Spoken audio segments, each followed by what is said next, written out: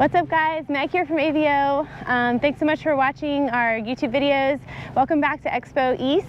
Um, we're so excited to be here. I'm gonna walk around and um, show you guys around and uh, we're gonna talk to some different customers and people here at the event.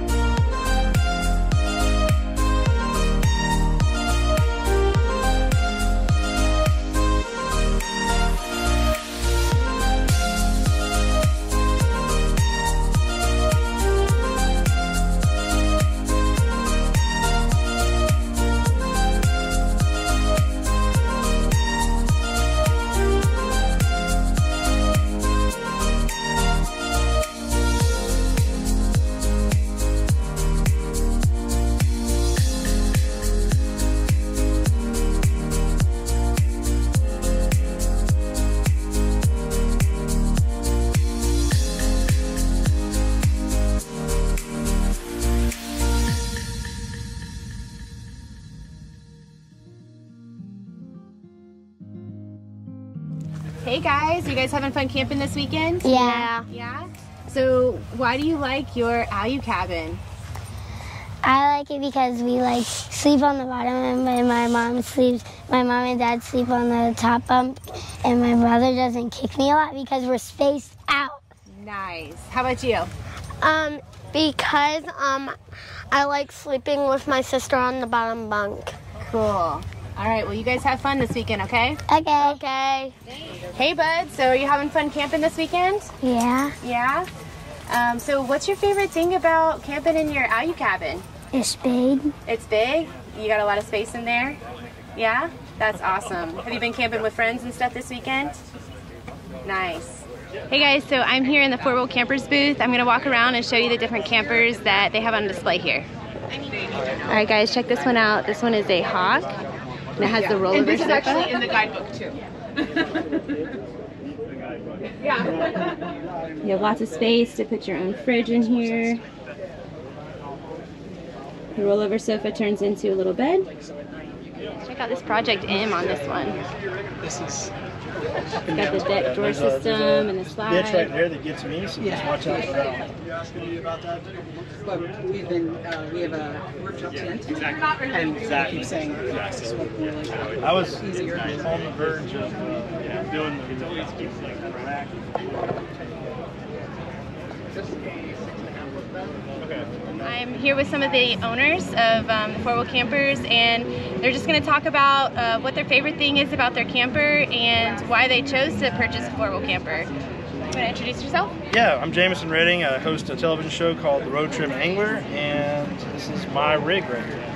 So I wanted to get into the four-wheel camper, specifically the Project M, because of what I do for a living. I'm on the road all the time, uh, and we're traveling different places. We're moving quick, and we have a lot of fishing equipment and a lot of gear. But I also wanted to be able to camp with my family when I wasn't on the road. Uh, so this just gave me that versatility to be able to keep my deck system in with all my gear in it, load and unload stuff quickly, but still have a place to sleep when I'm moving from spot to spot. So it really just fell right into that um, perfect spot of having a camper, but also still having my truck uh, be used as a truck. Yeah. So where's your favorite place um, to go camping or your favorite place that you've gone? It's it's super hard to narrow down like my favorite, right? Because Yeah. they're, they're all so unique and different. But I'll say so far with the rig, uh, my family and I went out to four wheel campers to pick it up in California, and so on the way back we camped in uh, the Tahoe National Forest, and we just found like a couple of cool spots. But one of them had this beautiful lake. We were able to camp right on the lake. Uh, it was a little bit of off-roading to get there, so we were a little more secluded, and the kids just loved it and had a blast. So that's my favorite like trip in the camper so far. Cool. Thanks for sharing. Yeah, Appreciate absolutely. it. This one is a Granby and it has the OEV tray, which we actually did at AVO. And uh, it just gives you so much storage around your camper.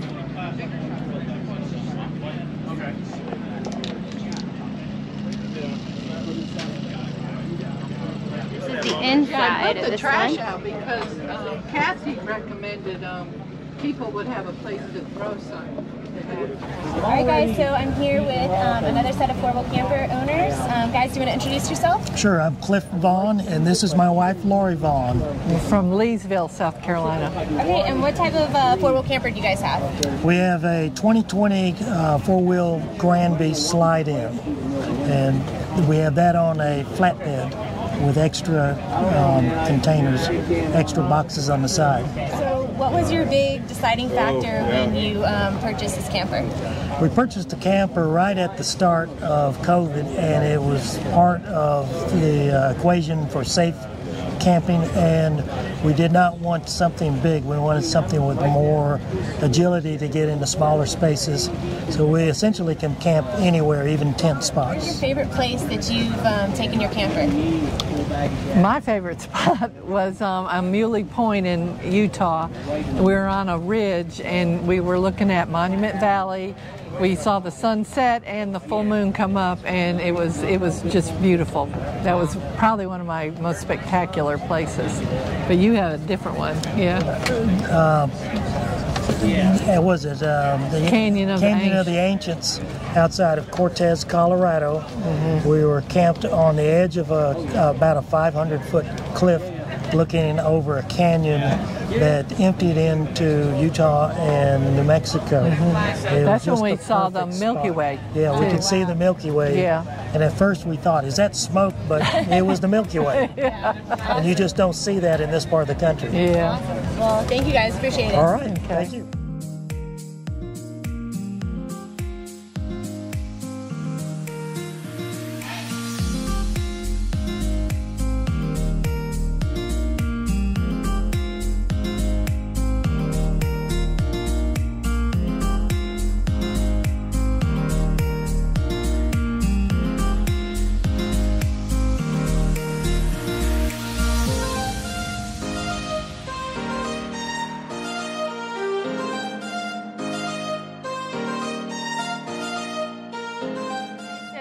Here in the AVO booth actually um, with one of our Canopy Camper customers. Want to introduce yourself?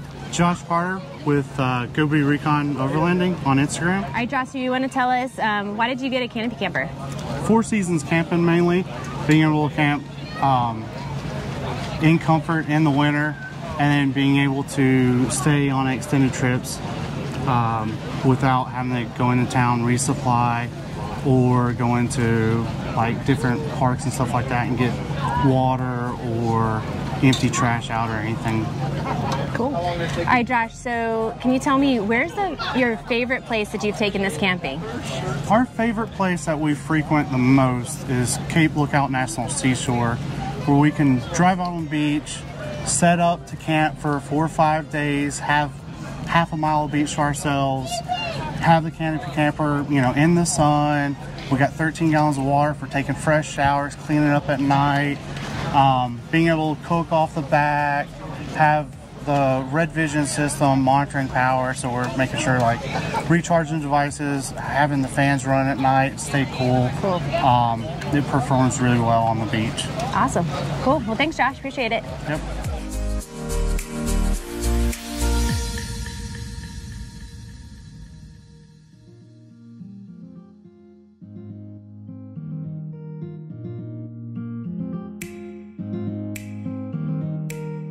All right, hey guys, so I'm here with a Power Brake customer. Um, you want to introduce yourself? Yeah, I'm Jason from Mountain State Overland. Thanks for having me. Yeah, no problem. Um, so, Jason, why did you um, upgrade to Power Brakes? Um, in total transparency, um, I upgraded to Power Brakes late in the game because I didn't think that I needed to, right? And uh, I heard a lot of really good things about the Power Brake product. Um, and I thought I'd give it a try, right? So we installed these at home by ourselves, following the instructions. It was pretty straightforward. Um, I think anybody that has some basic mechanical skills can knock it out with some tin snips. Um, the fun thing that we did with the power brake was we did a brake stop test before we put the brakes on. Okay. So um, fully loaded Tacoma with a canopy camper on the back, um, water, goose gear, everything.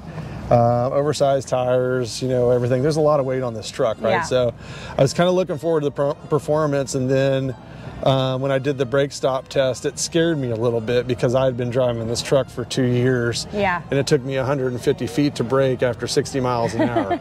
um, so we haven't done the after performance test yet because we went we went through. Um, the initial break-in period, and then we drove out to Colorado. Cool. Um, so I've been on these brakes now for almost 5,000 miles, and I haven't done the brake stop test yet. So when we do the final piece to see how these things are going to stop, I think we're going to be really happy, right? Because Yeah. I mean, driving this vehicle in emergency situations and having to slam on the brakes and it Yeah. comes, to, you know, to the stop on a dime. Um, makes me feel bad that I've been driving my family around for all of these all of these years, I guess, Without with power a- brakes, without yeah. power brakes and, Yeah. and not being able to stop the vehicle on time or as quick. You know, we've Yeah. just been very fortunate. But now I feel really confident. It's it's not something that you would um, that feels abnormal Yeah. when you put them on there. It just feels very confident, right? Yeah. You're not going to touch the brakes and all of a sudden your car is going to come to a screeching stop unless you slam on them. Yeah. So it feels very natural. It feels like a stock vehicle off the lot, and um, they're great. You know, I mean, we used them in Colorado, coming down some big alpine passes, and uh, super happy with them. So we'll see how far it stops, but I'm, I'm guessing somewhere maybe in the 75 to 100 feet range. So, Yeah. Cool. um, yeah, they're a fantastic product. Awesome. Well, thanks. Appreciate it. Yep. All right, guys, I'm here with another one of our AluCab customers. Um, you want to introduce yourself? Yeah, I'm Nick Scabaris. I'm from Michigan. Um, what did you get from us? Well, I uh, got the Contour canopy uh, from Alucab and the uh, rooftop tent, the 3.2, and a awning, shadow awning, 270. Cool. So, um, so what made you decide to get this set up? Well, um, we wanted to be able to uh, travel out west and uh, just pack everything we needed in here. We got a little camper, but like we, we didn't want to be able to have to pull it anywhere, so this will get us to wherever we want to go.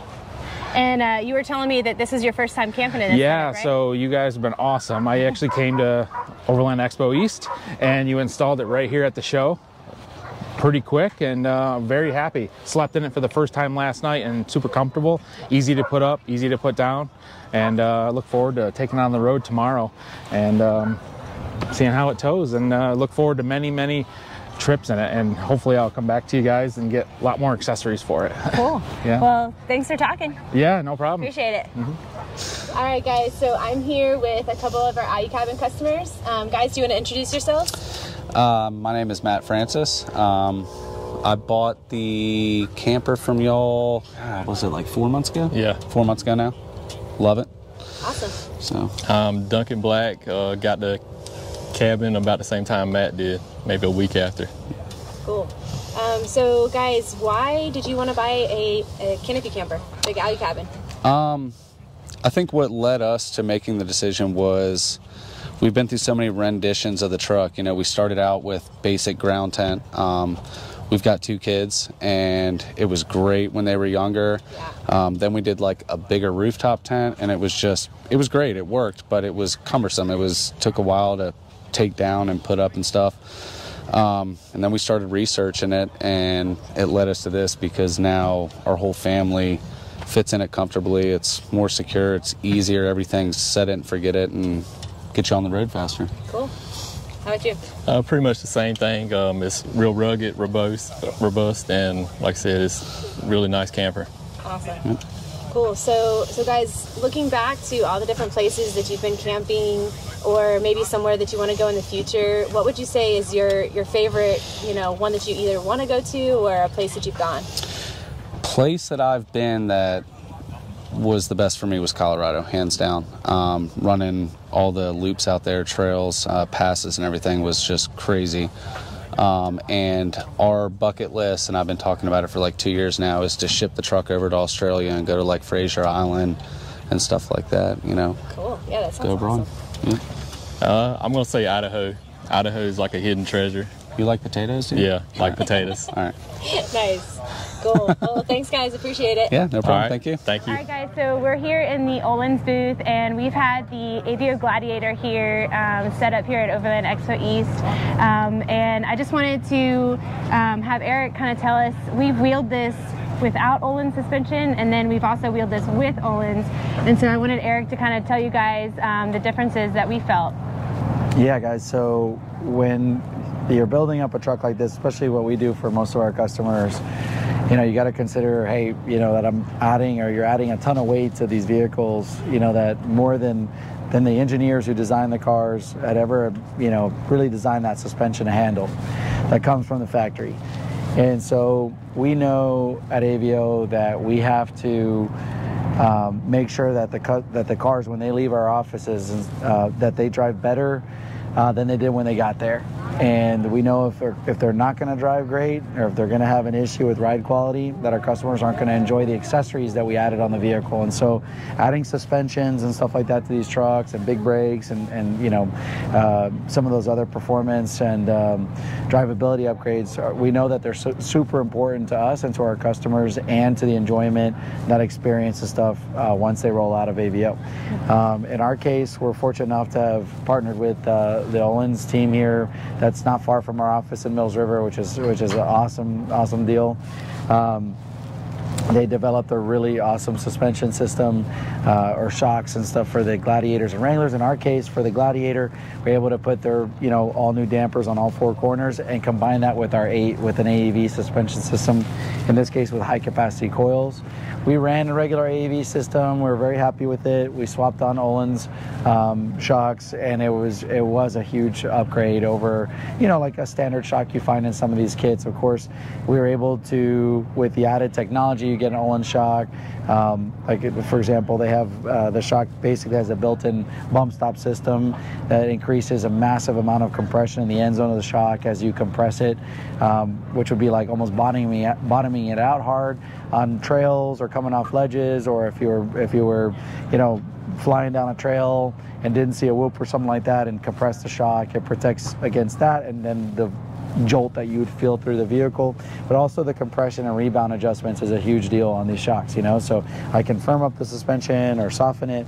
In our case, I think the best part of the shocks is the rebound control because with the weight in the back of the vehicle, I can keep the vehicle from wanting to do all this and, and, and move back and forth so much and slow that down so that it comes back to right height a lot more quickly and stays there. Um, so we're really happy with these kits. The quality is hands down probably the best we've seen.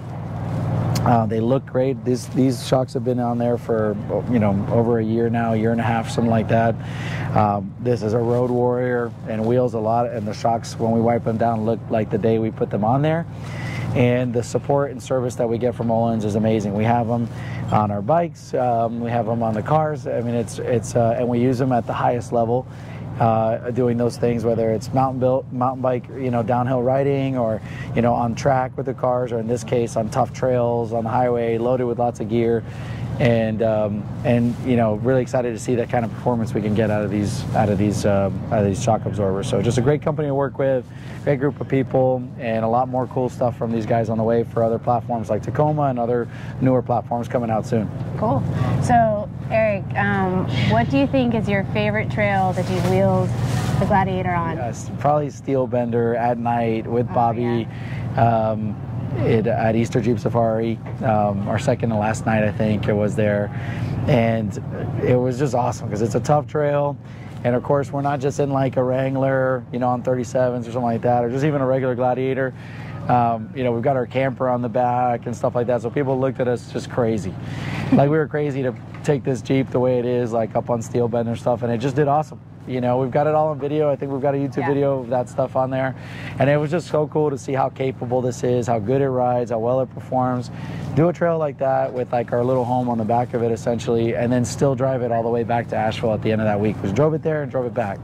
Cool. And that's what we do with this truck is, you know, it really gets driven really everywhere it gets, or wherever it goes. And so, yeah, really pumped. And of course, it handles all the slow speed stuff really, really well too. So all the rock crawling and controlling all that, you know, all that weight. So basically, you've got a big rooftop tent on this. Of course, with the canopy, it's all one piece. Um, but you know, the suspension's able, even with the factory sway bars in the rear, to really limit all that movement and stuff. Even you know, when it's huge ledges and stuff like that. Cool. Well, thanks, Eric. Appreciate it. Yeah. No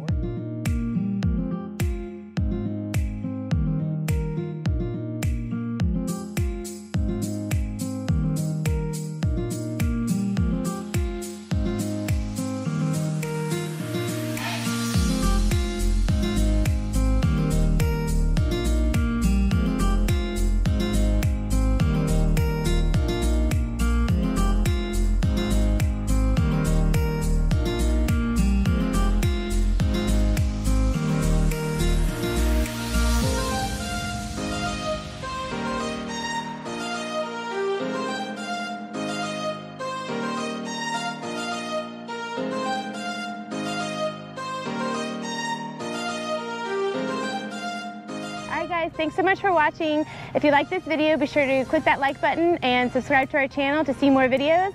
And we hope to see you next time. Bye, guys.